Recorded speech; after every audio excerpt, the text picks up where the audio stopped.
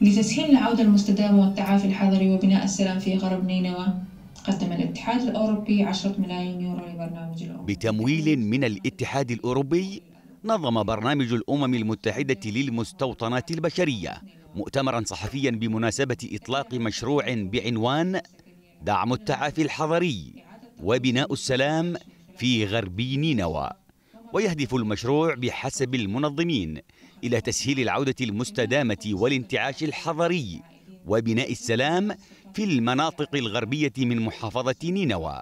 هذا وستتركز جهود المشروع في مناطق سنجار والإبعاج وتل عفر كما ويتكون المشروع من ثلاثة محاور رئيسة أبرزها تحسين الظروف المعيشية والسكنية للعائدين الضعفاء في غربي المحافظة.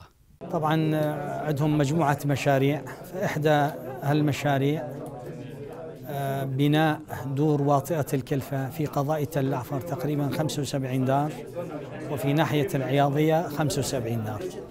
إحنا عندنا دور مهدمة بالكامل تقريبا ذكرنا بالكلمة 400 دار وأكثر من 2000 دار آه، مختلفة الأضرار.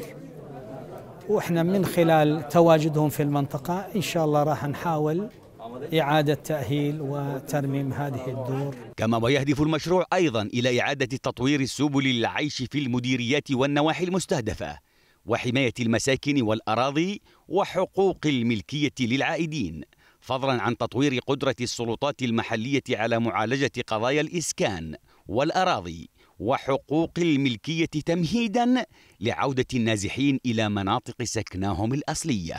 هذه البرامج مهمة جدا لإعادة النازحين إلى مناطقهم. كون أحد الأسباب الرئيسية لعدم عودة النازحين هي عدم وجود المأوى. ولكن بالتأكيد هي لا تكفي كل حاجة محافظة نينوى أو هذه المناطق. هي قد تسد 10 إلى 15% من الحاجة الحقيقية أو أقل. وتظل المناطق المحررة من دنس داعش. بحاجة ماسة إلى تضافر الجهود المحلية والدولية لدعم التعافي الحضري وبناء السلام فيها في سبيل تهيئتها وإعادة إعمارها لتعود كما كانت بيئة آمنة لأهلها وأبنائها.